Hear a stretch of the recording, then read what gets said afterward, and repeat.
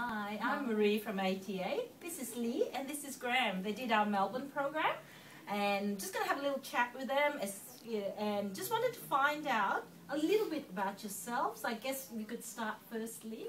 Yeah, um, I uh, at the moment I'm working uh, for corrections in Victoria, and I decided in 2004 that uh, I wanted to uh, do a TESOL course in order to um, meet two passions in life, and that is helping people, giving a little bit back, and also travel.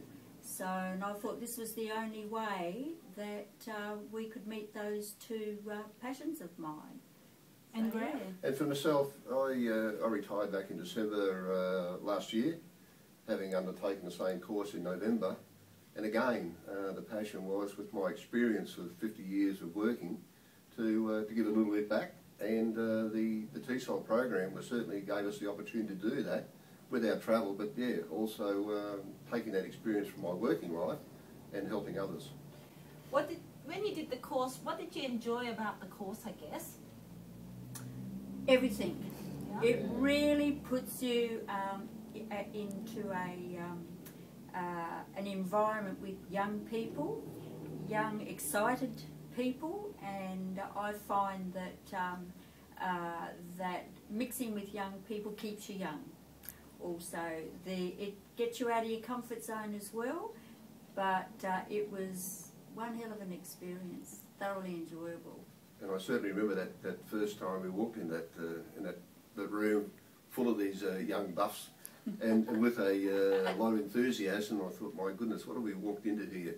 But at the end of the day, um, they were there to achieve the same objective as us, uh, to look at the, the program, and um, here we are today. So where are you go, where were you thinking of heading to to teach English? We picked uh, Vietnam. Uh, Graham starts up there uh, very shortly, and I'll follow not long after him. Uh, we picked Vietnam because it was close, and we thought that it would be the ideal place to get our bearings um, and uh, see how we go, see if we like the teaching, to see if the people liked us, and then maybe to move on from there. And yeah, I think you know Vietnam, as, as Lee said, is sort of close to home. We've got family here in Australia. Um, the initial part of my contract, and I'm going up there, as, as Lee said, in August to uh, to a school in Hai Phong. It gave us the opportunity for me to come back, um, and with Lee not coming up for some period of time, to uh, being close to home, uh, but at the same time uh, look at the opportunity that presents itself um, with the view that uh, here we are at mature age, if you like, um, taking on a uh, on a passion that we enjoy. And I guess you're thinking of Vietnam as a starting point now, really. You're looking at other countries as well from Vietnam. Where would you like to go from there? I think once we get question, yeah once once we get the uh, experience under our belt, um, we'd like to experience as many countries as uh, we can. So Vietnam is only just a starter starting block for us, and hopefully over the next few years we will um, go. I'd like Turkey.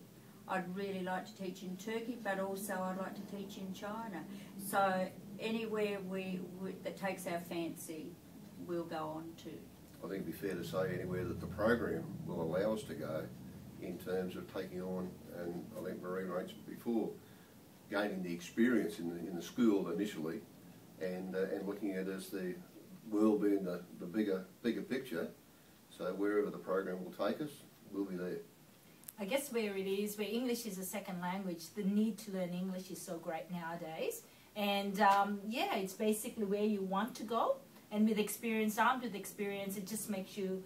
Uh, I mean, the schools are looking for people that can actually, you know, walk into a classroom and deliver the classes. And I believe traveling just opens up people's horizons. And in life, you've got to keep doing things, and as rewarding as traveling. And I guess the other thing that comes out of it is you must love people. And I'm, I'm presuming Leah and Graham loves people. Absolutely. You have to love them to be able to impart any knowledge. And uh, we are, the world's become quite small. Wouldn't you agree with that? Oh, definitely. Yeah. Definitely. As I said, I come from a corrections back- background, and the multicultural um, backgrounds of people in, in the justice system at the moment, you have to be prepared and, and, and be aware of all sorts of culture. And that just gives me the impetus into being able to go across overseas and teach and be aware of people's different cultures. And I think, you know, if you look at the TESOL program, age is no barrier. It's an excellent program. Um, if you put your mind to it, I can thoroughly recommend it.